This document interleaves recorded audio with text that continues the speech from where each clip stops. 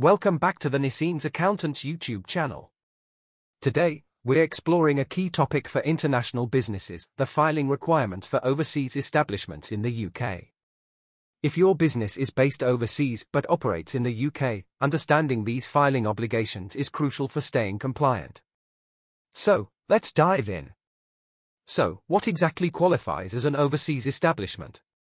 Also known as a branch or place of business, an overseas establishment is essentially an extension of a foreign company operating within the UK. If your business has a physical presence in the UK, such as an office or branch, it meets the criteria as an overseas establishment. This status comes with specific filing and reporting responsibilities to UK authorities like Companies House. Now, let's talk about registration. Once your overseas business establishes a UK presence, you must register with Companies House.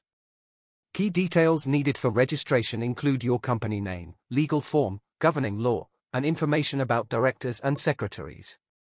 Additionally, you'll need to provide specifics about the branch location and the date your UK operations commenced. And remember, you need to complete this registration within one month of establishing your presence to ensure compliance from day one. Once registered, your overseas establishment will have ongoing reporting obligations. This typically includes filing annual accounts, which could be the parent company's accounts or accounts specific to the branch, depending on your operations. You'll also need to submit an annual confirmation statement to ensure Companies House has up-to-date information on your business. Additionally, if your UK establishment is liable for corporation tax, it must file tax returns with HMRC. Consulting a tax advisor can help you navigate these tax filing requirements and avoid penalties. Any changes to your registered information, such as changes in directors or your operational structure, should be promptly updated with Companies House. Failure to report changes can lead to penalties or even jeopardize your establishment's ability to operate in the UK.